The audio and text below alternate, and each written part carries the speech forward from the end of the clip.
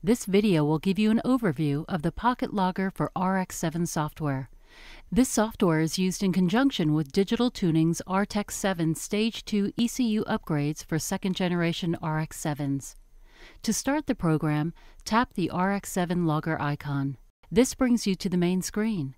There are four main areas, Data Log, Tuning, View your saved data logs, and Diagnostics. Tap Log to bring you to the data logging screens.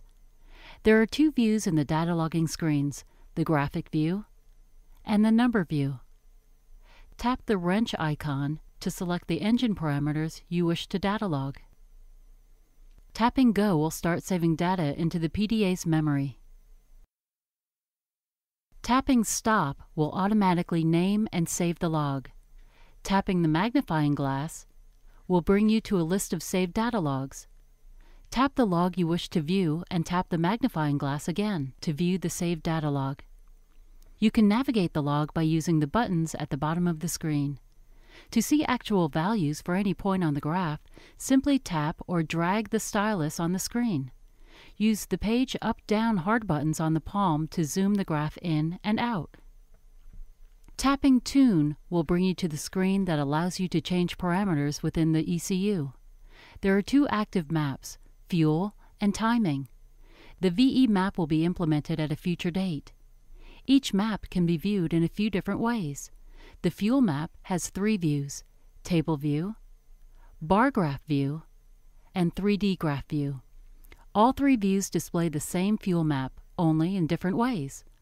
You can navigate any map using the buttons at the bottom of the screen, or the hard buttons at the bottom of the palm. Changes are made to the map with the on-screen up-down buttons or the PDA's page up-down hard buttons. Changes on the bar graph screen are made by simply dragging the slider controls, much like a graphic equalizer. There are three different timing maps, leading, trailing, and a split map. All three maps can be viewed as either a 3D graph or a numerical table. The table is larger than the 5x5 grid, so in order to access the rest of the map, simply navigate past the edge and the map will scroll in that direction. Again, changes can be made by using the up-down buttons on the screen or the PDA's page up-down hard buttons. Tapping the menu button on the PDA from any tune screen allows you to access the ECU setup screen.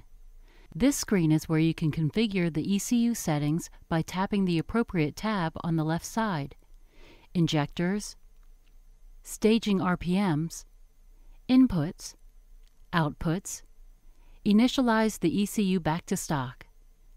Idle, which has the ability to set the initial set coupler. This tab walks you through the factory idle adjustment procedure to properly set up your idle and is where adjustments to the variable resistor value are now made. And the starting tab which allows you to adjust the cranking fuel map. Tapping Diagnostics will display the current errors in the ECU, as well as the status of the ECU's inputs and outputs. Tapping View will bring you to the list of saved data logs.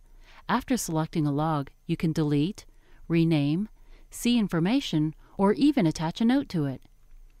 Use the note area of the log to record any important information about the log, such as location or weather conditions. For more information regarding the Rtek7 ECU upgrades or any of our other products, please log on to digitaltuning.com.